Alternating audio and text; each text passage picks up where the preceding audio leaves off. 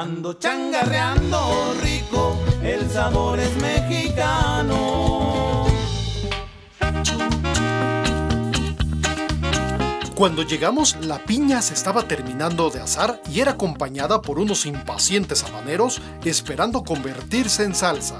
Resulta que solo viernes y sábado se puede visitar Guacamole, un asador entre los metros Bondojito y Talismán, donde la parrilla bajo una lona roja enloquece a sus clientes. Todo empezó como, pues, como si estuviéramos en casa.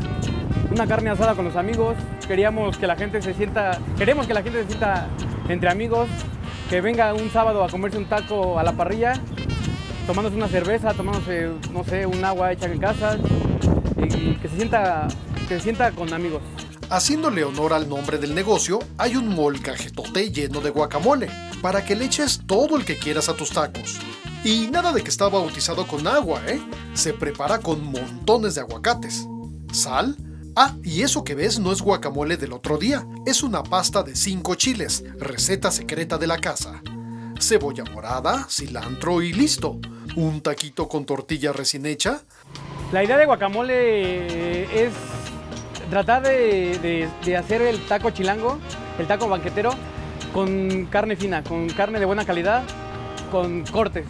De que la gente tuviera la facilidad de comer un buen taco con un buen corte. Tenemos ribeye, tenemos New York, tenemos tibón, tenemos picaña, tenemos roast El estilo de guacamole, meter buena carne, carne fina. Las carnes asadas van a dar a un recipiente donde reposan y esperan ser servidas en taco o tostada. Creo que hay mucha diferencia entre el taco y la tostada. Aunque es la misma tortilla, obviamente, el carbón da muchísimo sabor a todo, a la, carne, a la tortilla. Pero una tortilla dorada se puede comer sola, se puede, se puede botanear con guacamole, se puede comer con nopalito, entonces creo que sí hay mucha diferencia en sabor, a pesar de que es la misma tortilla. ¿Pero qué creen? El guacamole tiene una fuerte competencia. ¿Se acuerdan de las piñas y habaneros?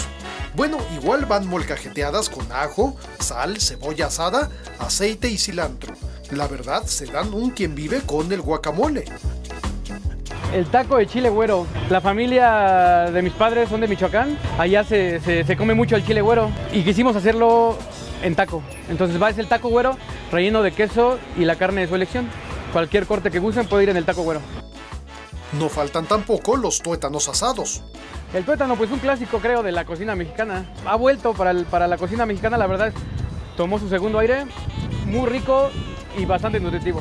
Lo tenemos acá en, guacamole, lo tenemos con va marinado, va sazonado con hierbas aromáticas, muy recomendable también.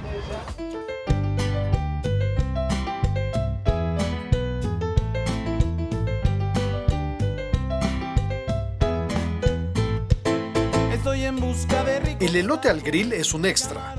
Paulo dice que es el postre. Como buen salsero y parrillero, lo unta con un aderezo de chile de árbol, queso cotija y tocino seco. Tuve muchas quejas de la familia que no hiciera esto, que no hiciera lo otro. Mi idea no era esa. Mi idea era que la gente se fuera satisfecha, que la gente se sirviera con la cuchara grande, como decimos aquí en la Ciudad de México. Que no escatimaran, o sea, que se sirvan lo que quieran. El taco debe de ir como ellos quieran, no limitarlos a eso.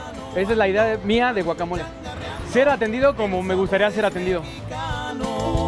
Vamos con todo y tal la banda para evitar la cruda cuando acaba la pachanga. A esa pancita que dan por indios verdes, allá por Garibaldi. ¿Están los que prefieres? No sé, aún no me decido. La neta es que me gusta que el changarro que está chido. Las tortas, los tacos, vamos a Coajimalpa, Condesa, Iztacalco o allá por Para más antojitos, suscríbete a nuestro canal o en la derecha tienes otras propuestas.